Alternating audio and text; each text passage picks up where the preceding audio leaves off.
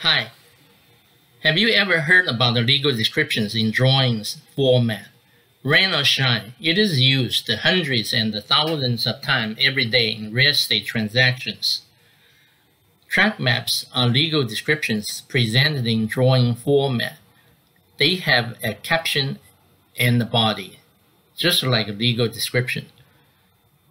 Tract map, parcel map is the only tool that can create multiple legal descriptions at the same time, and even in hundreds or more.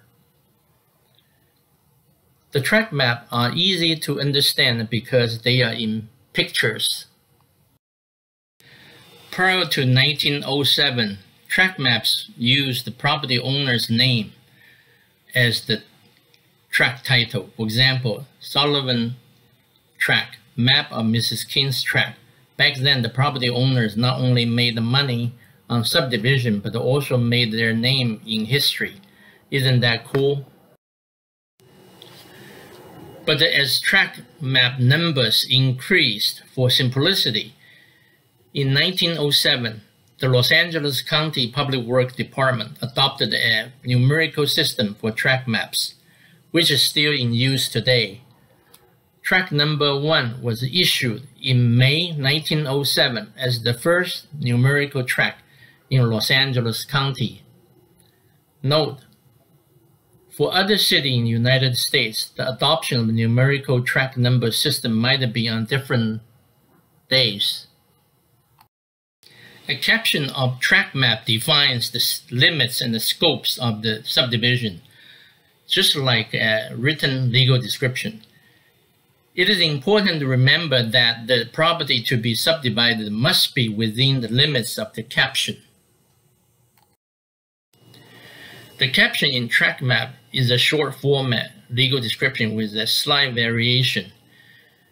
It always starts with words like being a subdivision of dot dot dot. For example, tract number 10740 the caption in this tract has three parts. Starts with being a subdivision of, then the first part, lot 34 of tract number 8233.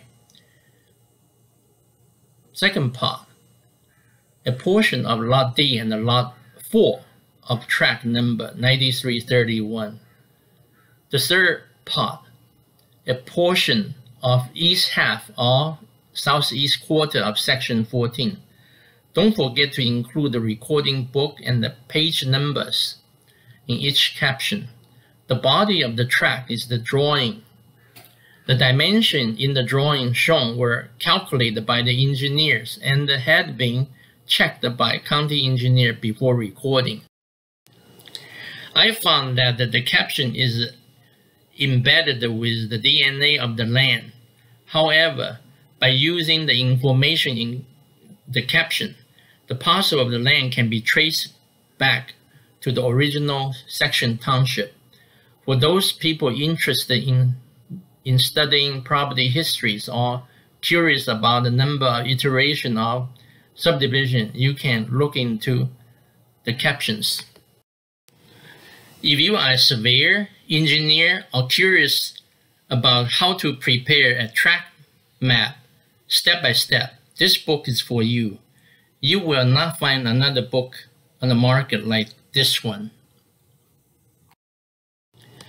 Please buy my books, study it, write a review on Amazon. I would very much appreciate it. Please also subscribe and leave a critique below. You can contact me using the email posted on the screen. Thank you for watching.